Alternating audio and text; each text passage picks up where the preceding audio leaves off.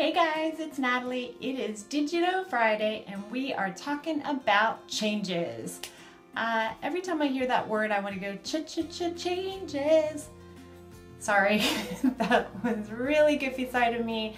That doesn't come out very often. Sorry about that. Um, I think Elizabeth with Madeira Green Moments is uh, rubbing off on me a little too much. That won't happen again. Sorry about that. But yes, we are talking about changes. Did you know that there is new changes to our policy and procedures? After I did a video about that a couple of Fridays ago, they're changing the policy and procedures. But that's okay because it's not the whole thing. Um, there's mainly certain sections of it and that is why it's really important to always stay on top of what Young Living is doing. And one of those things is, did you know that they are always sending us emails? Um, if you're not getting your emails from Young Living, make sure you check the virtual office and make sure your email is correct in there. Um, but that is why you should always be checking your email. For example, did you know that they have revamped the formula for our Super C tablets, which I think is exciting. We just got an email um, saying that we are working on a brand new formulation for our popular C Super C chewables. Hopefully it's really yummy. I haven't tried them yet, but I really want to. Uh, it says on June 1st, you can be one of the first to order the improved formula. Uh, the price will be increased and uh, to $31.75 per bottle. I haven't done the math on it yet, so I'm not sure what that makes it each vitamin to be uh, made out to be. Um, but you can visit your virtual office and get it. So that is why it's important to check your email and to check your virtual office because a lot of times we get in the know before the public does. Yay for us! Another great reason to be a member of Young Living. And then we also got an email uh, this past week about the policy and procedures. And so it said that some of the highlighted changes are going to be Professional account customers will be required to complete an application and sign a professional account customer agreement. Then another exciting change is minors 16 years of age or older may become members with a parental or guardian co-signing or parent or guardian co-signing. And then another exciting change that I'm excited about is members may offer only reference materials and up to $25 in enrollment incentives to new enrollees and reactivated members. This is excite me, excites me because I see so many people out there um, offering everything in the kitchen sink for uh, to get new members to sign up. And that is great, I think, but it for me, it kind of cheapens the whole Young Living experience. Um, for me, the oils themselves uh, sell. And I honestly don't think you need any more incentive than to want to get well and to want to improve the, the support of your family and just to the and just the oils themselves are the selling point. Um, but I understand, and I know that it can be hard to get new members, uh, and some people need to to do with incentives. But I saw um, like one person was giving a a pocket reference guide, a $25 gift certificate to Amazon, and something else. And it was just like crazy. And to me, it just really cheapens the deal. I'm sorry. Um, it really does for me personally. And a lot of times I found, and I guess and I guess for me right now, this is kind of a sore spot because we have so many people signing up that their sponsors just sign them up and just, that's it. They sign them up and that's it. They don't get any support. Just today, um, I heard from one of my downline that somebody contacted her and said, I really wish that I signed up under you. I just saw somebody on Instagram and thought, you know what, I really need those oils and I signed up under them and now I really wish I could have changed under you. I had no idea how important it was uh, to pick a good sponsor. And so that's, you know, I don't know. This is just really a hard spot for me. But I'm going to get off of that. Sorry, I go off on tangents. I like to stand on my soap opera, my soap opera. I like to stand up on my soapboxes a lot. So that's a great change that is happening. Change, and then another important change that is coming is changing sponsors.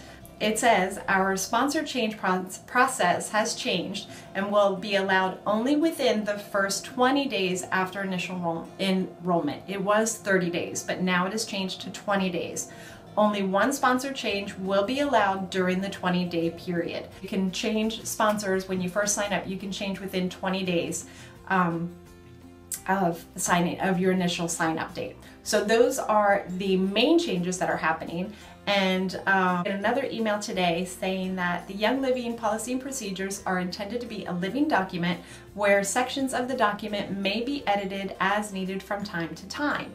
Um, and this happened and they are going back and looking at particular in particularly section 3.3 which uh, concerns the household accounts and they will be editing that and so the date for the effectiveness and the effect date for the policies and procedures is probably going to be pushed back uh, about a week.